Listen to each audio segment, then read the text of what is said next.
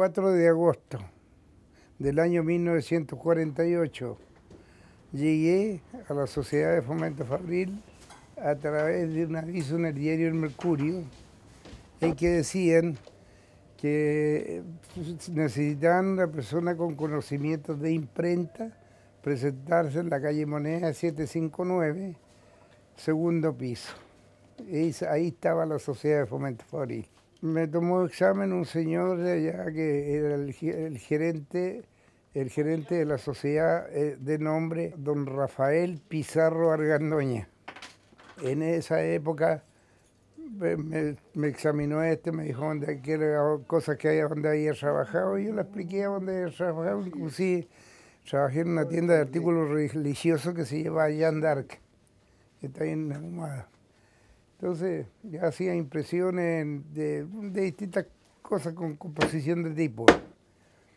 Y haciendo todo eso, llegué ahí a la sociedad. Bueno, terminó el, examen del, señor gerente y me, dijo, me dijo, ya está nomás, le joven, me dijo, váyase nomás, váyase nomás si usted quiera le habíamos avisar.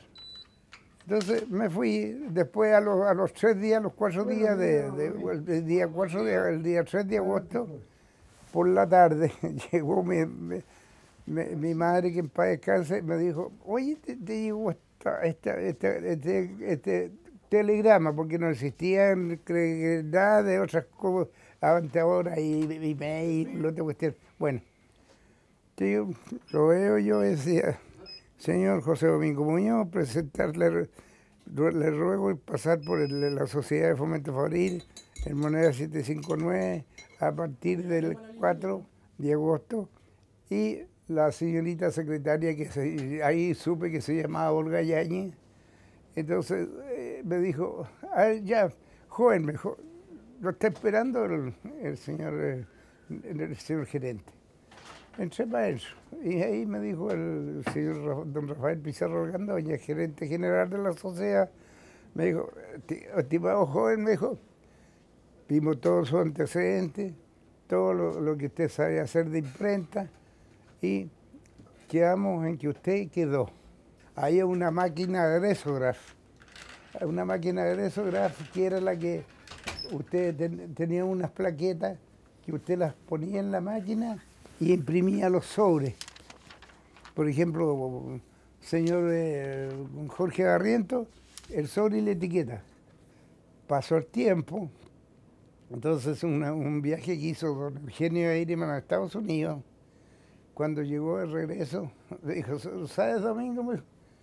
Te traigo una buena noticia, porque yo estuve en los Estados Unidos y vi unas máquinas impresora que es, que es tipo sistema OCE, el nuevo sistema que está, va a salir, va a evolucionar en esta cuestión de imprenta. Y pedí que mandaran una para allá para la sociedad. Y llegó la máquina ya, pues ahí, como decía yo, una, una Multilis 750. Los primeros 15 años que trabajé yo, estaba trabajando en la sociedad, me recuerdo muy bien porque en mi juventud hice mucho deporte, mucho deporte. Entonces eh, teníamos un equipo de fútbol y qué sé yo.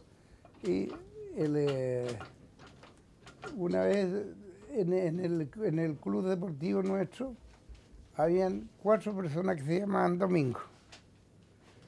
Eh, jugadores, jugadores, yo también jugaba, todo eso. Y un día 4 de agosto, que era el día de Santo Domingo, me llamaron por teléfono el presidente del, club que, mira, mejor, vamos a hacer un homenaje a los domingos. Y esto todo va a ser, me dijo, en un restaurante que se llama Caribe, en la calle Arturo Bra con Franklin. Pucho, ¿qué le cuento? Una fiesta, pero de amanecía. Si yo llegué a la casa cuando los pajaritos estaban cantando en la mañana. y bueno, entonces no fui a trabajar, porque iba a ir a trabajar y habíamos tomado y qué sé yo, cosas así, eh, comido, estábamos, no, no, no tenía deseo, no fui. ¿Y fue la primera vez? La primera vez, en 15 años. Entonces, había un gerente de la sociedad que se, se llamaba eh, este, Velero, Velero, ya, me dijo, me dijo al otro día cuando fui, por ejemplo, si fuera hoy día fue de, lunes o martes, al otro día, el día miércoles, me dijo, domingo, me dijo, no, no podíamos convencerlo, tú nunca faltas. Sí, sí, ¿y qué te pasó? Me dijo, cuenta. Yo le dije, le conté por la historia, el, homenaje a los domingos y, y los mareamos y todas esas cuestiones, qué sé yo. Puta, me dijo, ¿y cómo no me invitaste a mí? Pero es que eran los socios nomás. Pues. Yo dije, el secreto mío para la gente es nunca mirar en menos a otro. Todos para mí, pues, de, distintas categorías, los aprecio igual, porque puede que sean menos que uno, ya sea en trabajo, sea en salud, sea en eso, pero siempre no hay que mirar nunca en menos a otro nunca. Porque ese, es, una, es una falta, yo considero una falta muy personal de, cada persona.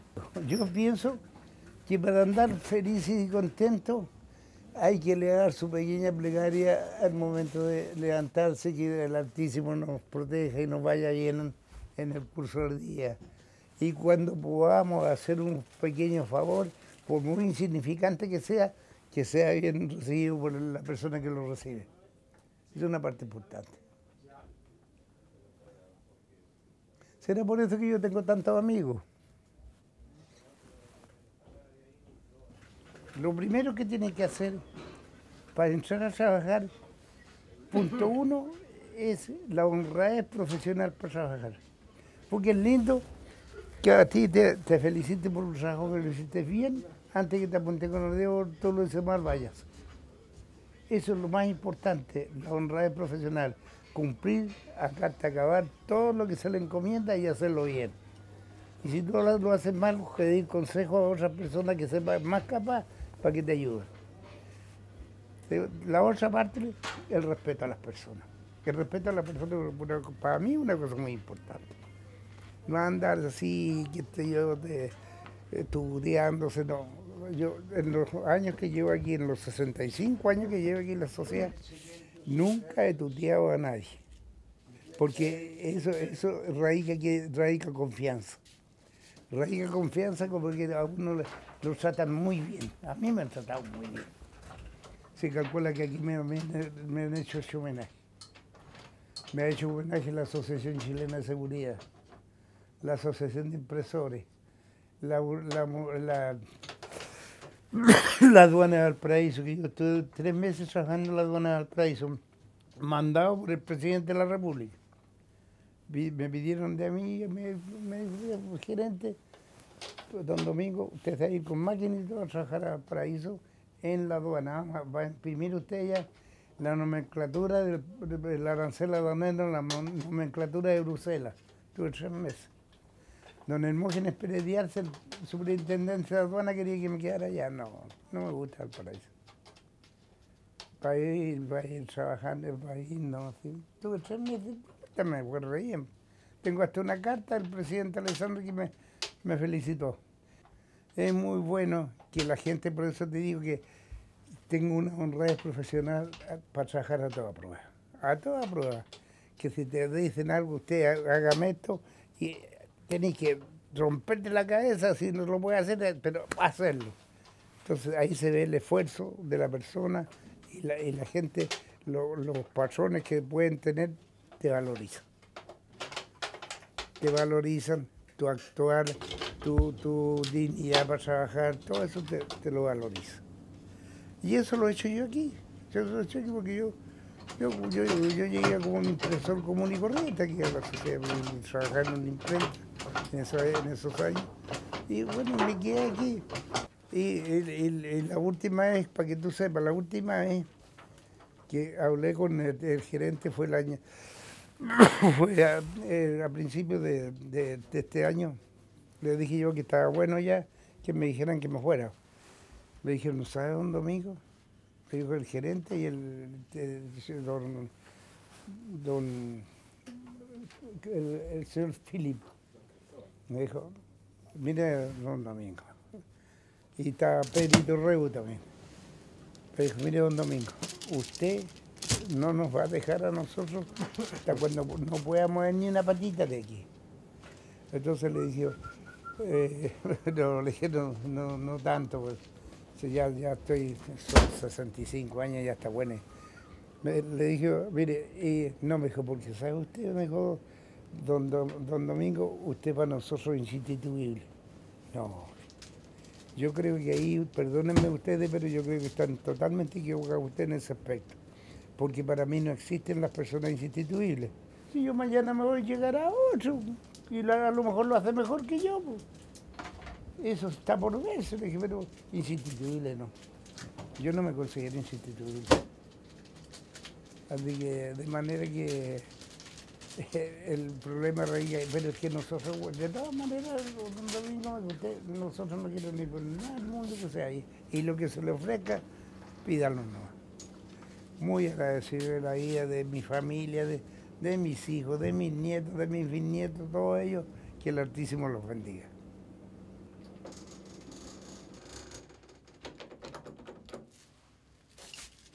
Pero